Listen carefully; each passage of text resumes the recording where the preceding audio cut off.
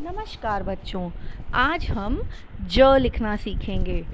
हिंदी का व्यंजन ज ज। तो शुरू करते हैं। तीसरी लाइन से शुरू करेंगे। एक यू आकृति बनाएँगे। फिर छोटी सी छो, लेटी हुई रेखा ऊपर जाओ नीचे जाओ और ऊपर एक बना दो एक छोटी रेखा। तीसरी लाइन से शुरू करेंगे। यू आकृति लेटी हुई रेखा, ऊपर नीचे, और ऊपर लगा दो एक लेटी हुई रेखा।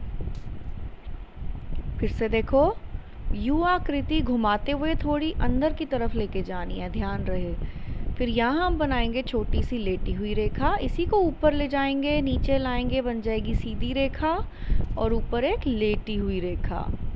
फिर से देखो यू आकृति अंदर घुमाओ, लेटी रेखा सीधी रेखा और ऊपर एक और लेती हुई रेखा।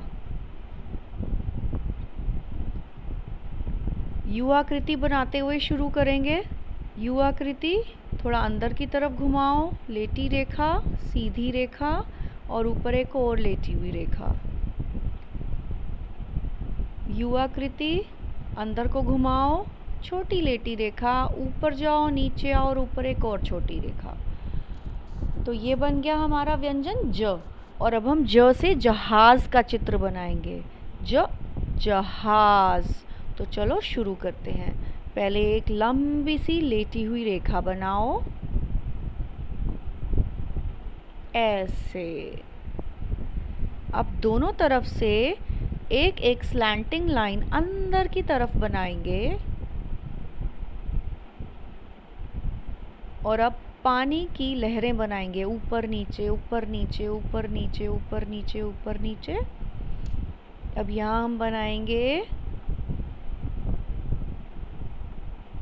एक सीधी रेखा, लेटी रेखा, सीधी रेखा, बीच में दो और सीधी रेखा।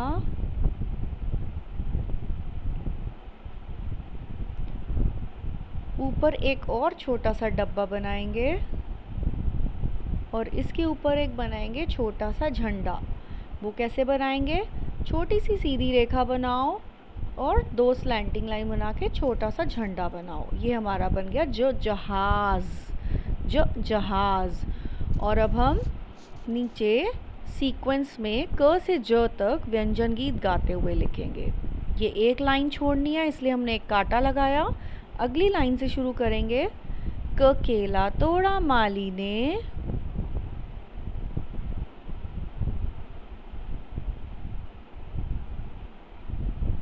ख खीरा रखा थाली में।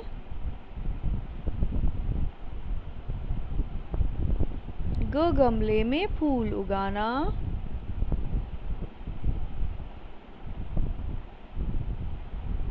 घ घड़ी सुनाए, टिक टिक गाना। ग को घ के बाद है आना।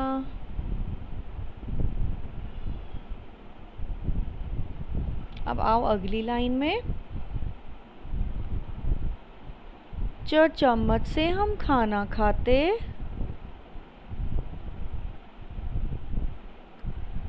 छ छाता लेकर धूप में जाते।